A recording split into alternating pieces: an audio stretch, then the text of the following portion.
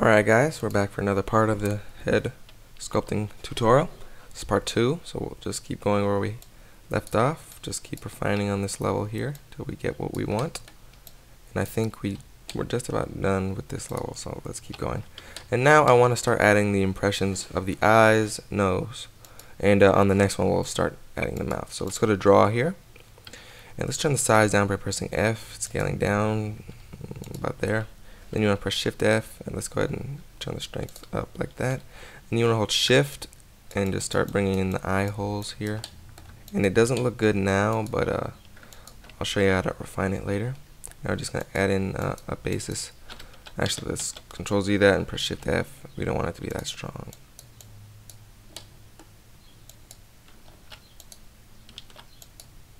Um, that's good for an impression of the nose. Right there, we don't want it to be too great. We'll just add grab and just refine it there. And I am making a character, not a, uh, we're not going for a photorealistic head or anything like that. I'm trying, I'm going to be trying to make a character. So now let's go ahead and start adding, uh, bringing out the cheekbones. It's good to know your anatomy just a little bit for things like uh, this. If you'll know there's a temple right about there. Just, the, we'll go ahead and uh, bring in the cheeks a little bit.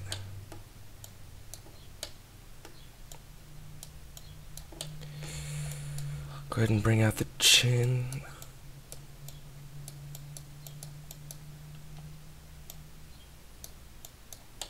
Mm, that might be a little too big for this character.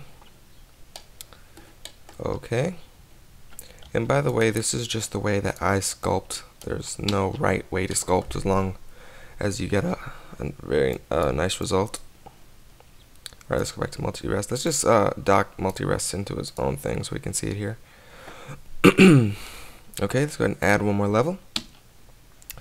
Now we can uh, continue refining what we already have here.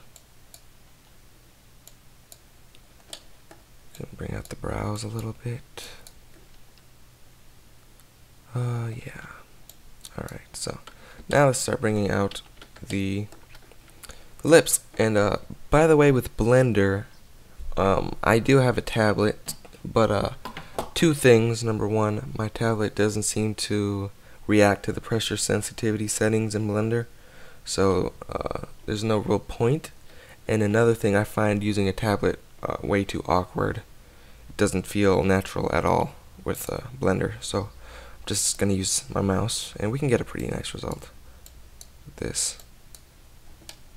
Alright, so uh, what we're gonna do is um, usually when I sculpt in ZBrush, I concave a mouth hole, and then afterwards I uh, I mask off the top part, and then I bring the lower lip up, and then I just refine the lips. but uh, in this case, it won't look good. So what we're to do is we're just to bring out one lip, and then we're to bring out the other one. And then we're going to hold shift and bring in the edge part there.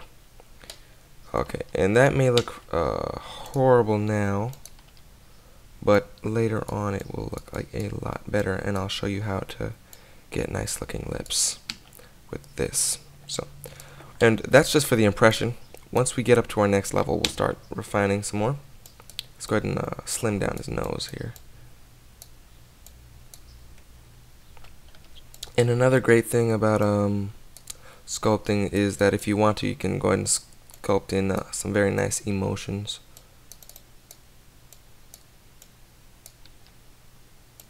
Okay, just refining here, making this look a little better. Bringing this in.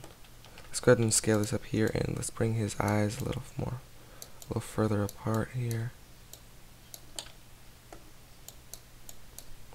And for the just the uh, the sake of it, let's go into object mode and let's go and make him some eyes. Let's press shift uh, or space here since we're in Blender 2.49. We're going to add a uh, UV sphere. And OK.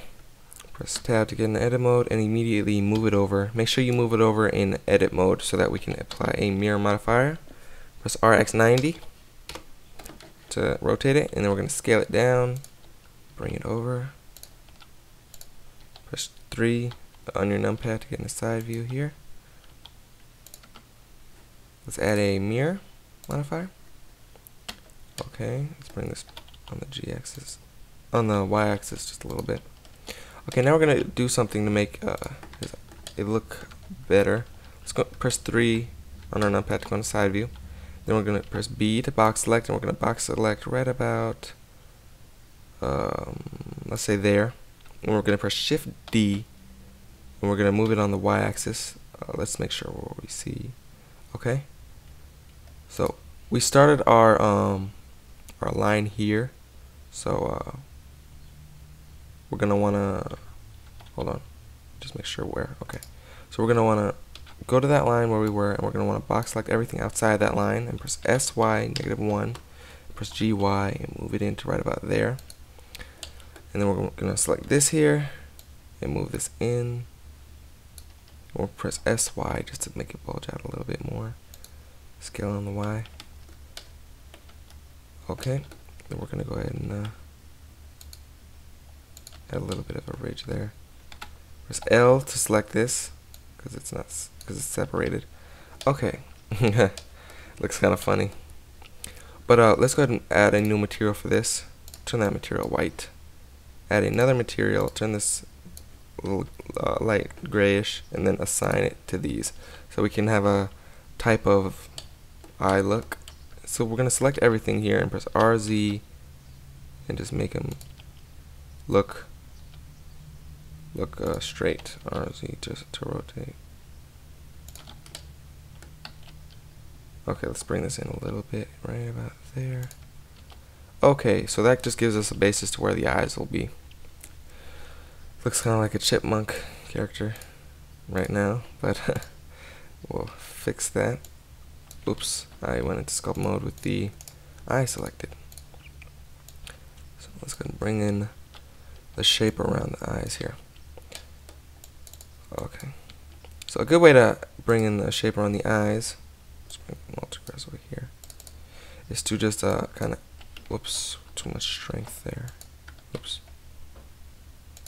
Okay, just start uh, bringing in, actually for now, let's go ahead and just hide the eyes. But a good way to add eyelids is to just bring it in kind of like that. And we're not going to add eyelids because it'd be way too hard to do it right now since we're just going to re retopologize it later. Let's go ahead and smooth this out a little bit.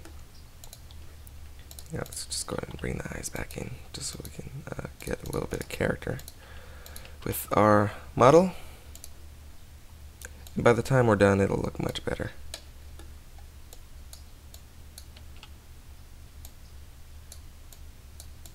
I'm going to try and get a fairly neutral expression with him.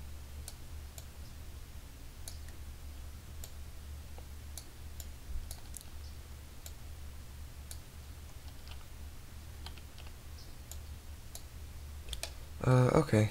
Um, pretty. I'm happy with the way this looks at the moment. Let's go ahead and just draw out some brows here, and maybe uh, a little bit more of the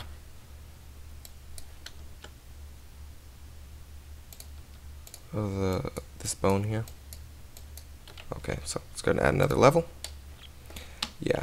Okay, so now let me show you guys how to get better looking lips.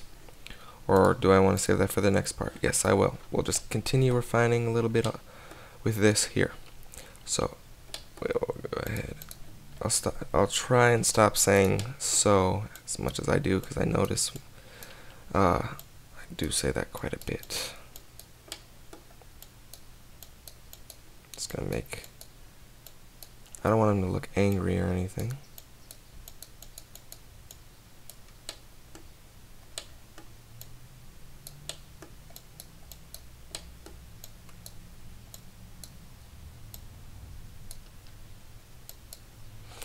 He looks very um, awkward right now.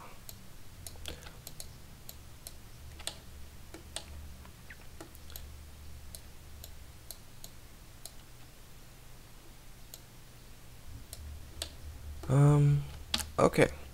So, that's it for this part, and be sure to watch the next part on this head sculpting tutorial.